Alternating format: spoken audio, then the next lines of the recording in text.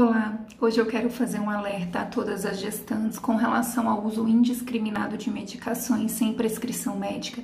Recentemente tivemos um caso muito triste do óbito de uma gestante, né, por uma provável anafilaxia após a infusão de uma medicação em uma farmácia.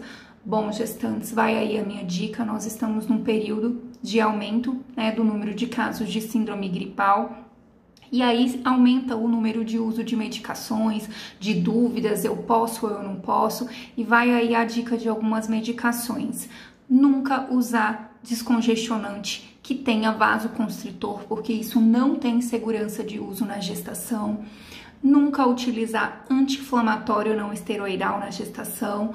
As medicações multigripais que têm uma série de componentes, elas não devem ser utilizadas porque pode ter componentes que tragam prejuízo para a gestante e para o bebê. Então a minha mensagem de hoje é: jamais faça uso de qualquer medicação injetável ou via oral sem a prescrição do seu obstetra.